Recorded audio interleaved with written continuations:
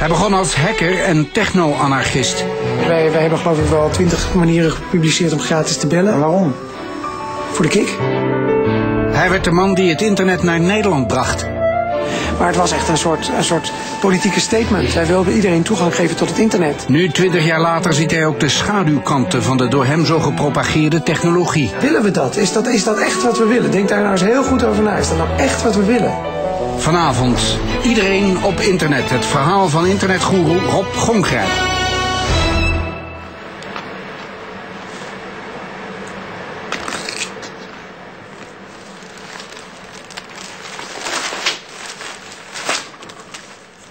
Vertellen jullie eens iets over je vader wat niemand mag weten?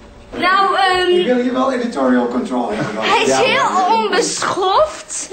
Hij eet vaak wel met zijn handen. Eet hij met zijn handen? Hij neemt zo'n pak cornflakes bij de ochtend. Hij wil afvallen, maar hij eet heel veel eh, andere dingen die dikmakend zijn. Dingen met suik- suiker in en olijven. En hij wil nooit toegeven dat Sinterklaas niet bestaat. Hey, en waarom zit jullie vader heel vaak beneden? Wat is daar beneden? kantoor. Hij heeft daar een zelf eigen kantoor. Met een paar vrienden werkt hij daar en En wat doen ze daar? uh, computeren. Alleen maar computeren. Alleen maar. Ja, De hele dag. er zitten allemaal nerds beneden. Mijn vader is er één van. Maar de grootste nerd. Zit de hele dag op computer. Oké, laten we eens even de computer zien, jongens. Waar staat hij? Volgend vaakste.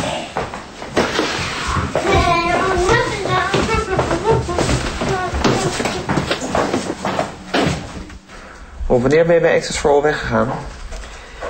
Ik ben weggegaan in 97. Waarom? Ehm, ik geloof niet dat ik talenten of ambities heb die heel goed aansluiten bij een bedrijf waar zoveel mensen werken. Ik ga dan in de weg lopen. Ik eh, hou niet zo van 9 tot 5 mentaliteit en, en dat hele. De, dat bedrijf moest enorm groeien. Het had al een enorme groei doorgemaakt natuurlijk. En dat was best spannend, maar op een gegeven moment wordt het een gewoon bedrijf. Of in ieder geval delen ervan worden een gewoon bedrijf. En ik, ja, het sluit niet zo aan bij wat ik wil of wat ik kan of wat ik... eh, En is dat ook het jaar dat, het, eh, dat eh, Access for All aan KPN werd eh, verkocht? Nee, dat, is, dat was nog een anderhalf jaar later, eind 98. Oké. Je bent er toch niet te vroeg uitgestapt, hè? Nee, ik... ik Je hebt er nog wel je voordeel mee ja, gedaan. ja. You're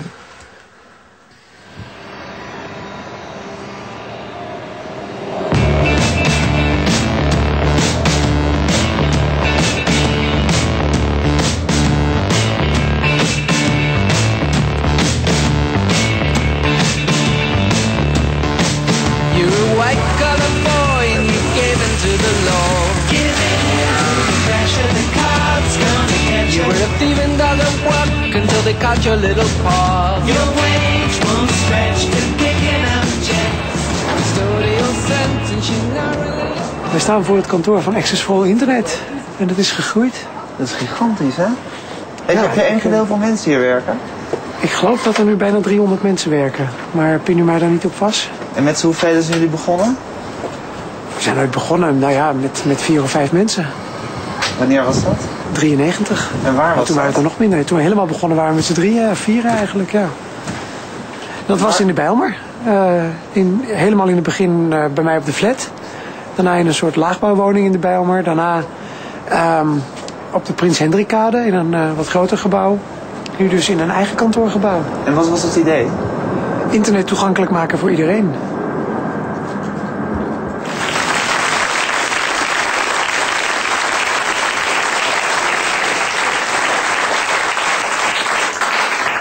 Dank u wel. Goedenavond.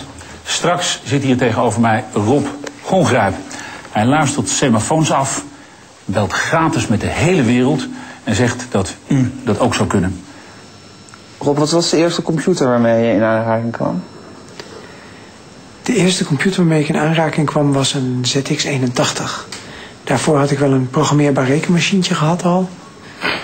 En daarop geprogrammeerd, maar de eerste echte computer was een ZX81. Ik was toen 13 en met mijn ouders op vakantie in Engeland. En daar eh, ja, lagen die dingen gewoon in de supermarkt. Dat waren eigenlijk de eerste huiscomputers. Kan je, het- kan je het omschrijven, dat ding? Zo'n plastic doosje, ongeveer zo groot, eh, zo plat. En er zaten een soort eh sponstoetsjes naast, een soort, soort folietoetsjes op, heel oncomfortabel. En dan kon je programmaatjes intypen. En dan op je tv aansluiten en dan zag je op je tv wat er gebeurde. Hij is redacteur van het computerkrakersblad Hectic. Een enigszins anarchistisch periodiek voor eigenwijze computerfanaten. Mag ik een applaus voor Rob Gongrijp. Ik had van 1989 tot 93 een tijdschriftje, ja. Ook weer met een stel andere mensen opgezet. Maar ik ben daar zeg maar, de, de centrale figuur in geweest al die tijd. En wat was dat voor een tijdschriftje? Dat was een, een- wij noemden het zelf een tijdschrift voor techno-anarchisten. Waar heel veel humor in zat, ja. En dan heel veel tips geven over hoe je gratis kon bellen, hè? Dat is geloof ik een van jullie voorname... Dat was een van de dingen die we deden. Wij, wij, wij hebben geloof ik wel twintig manieren gepubliceerd om gratis te En bellen. waarom? Voor de kick. Voor de kick. Ja. Dan heb je ook nog bijvoorbeeld de Redbox. Als je dit voor een Amerikaanse telefooncel in de hoorn afspeelt. Dus je hebt zo de hoorn en je houdt zo Ja. dit ervoor. Doe eens hier. Ja. Dit is het toontje wat een Amerikaanse telefooncel wil horen. En dan denkt hij dat er een kwartje is ingegooid, een quarter.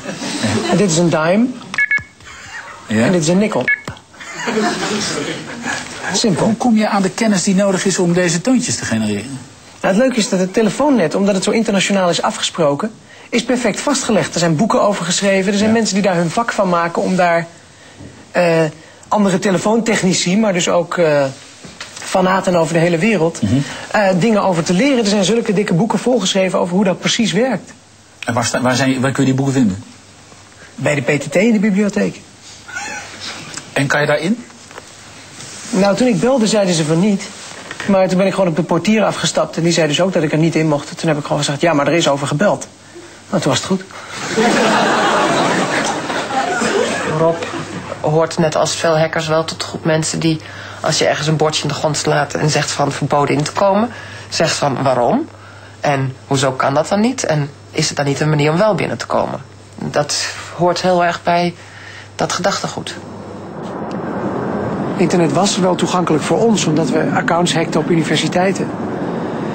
Maar ja, dat was een activiteit die dan ook, toen ook strafbaar werd in maart 93.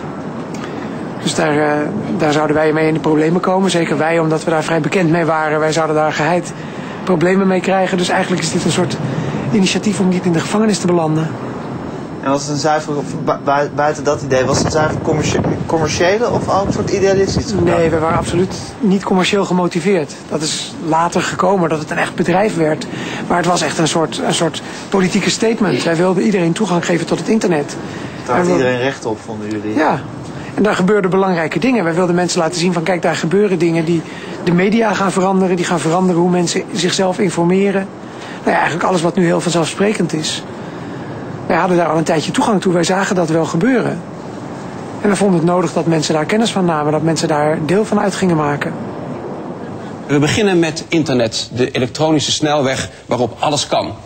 Internet is een internationaal netwerk waarop alle computers, ook die van u thuis, kan worden aangesloten. En dan kunt u wereldwijd met elkaar communiceren. En als je het Vaticaan intypt, dan komt u in het Vaticaan en dan kunt u communiceren met bijvoorbeeld priesters. Heeft u meer behoefte aan pornografie, dan kunt u via Casa Rosso een live show op uw scherm meemaken. En Rob Gonkgrijp is een exploitant van het internet en bij hem kunt u zich abonneren en dan komt u op het eh, internet terecht. Hij wordt ook wel een provider genoemd.